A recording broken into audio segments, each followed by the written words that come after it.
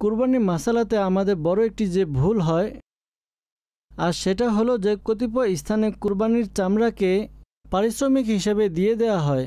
বিশেষ করে ছোট পশুর চামড়াকে। জি।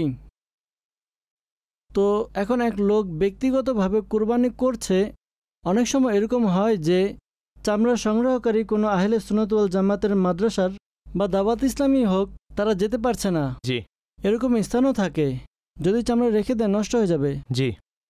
আর কষাই যে রয়েছে সে দাবি করে যে আমাকে দিয়ে দিন।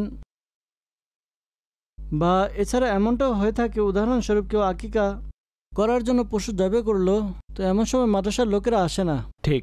তো তখন কষাইয়ের পক্ষ থেকে এটাই দাবি থাকে যে জনাব আমার তো পারিশ্রমিক হলো হাজার টাকা তবে চামড়া আমি নেব আটশো টাকা আমাকে দিয়ে দিয়েন। জি দুইশত টাকা চামড়ার পরিবর্তে।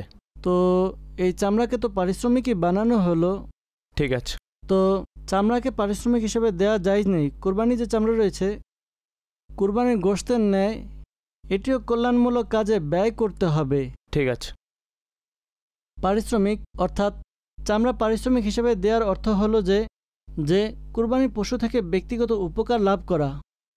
যেভাবে এর গোশত বিক্রি করা যায় না এমনিভাবে চামড়া পারিশ্রমিক হিসেবে দেয়া এমনই রয়েছে যেমন সে চামড়াটি বিক্রি করে দিয়েছে আর এই অর্থ নিজে ব্যয় করে ফেলেছে। বিক্রি করা জায়জও রয়েছে। ঠিক আছে।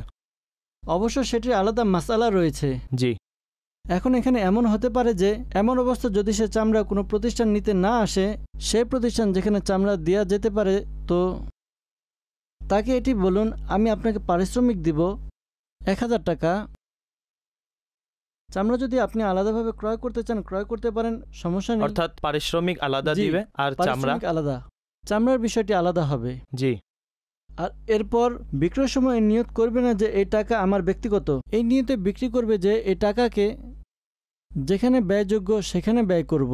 ঠিক আছে। এজন্য বেচব যেন যেখানে এটা ব্যয়যোগ্য সেখানে ব্যয় করব। সঠিক। ব্যয়ের যে জায়গা তা হলো পুণ্য ও নেকির কাজ।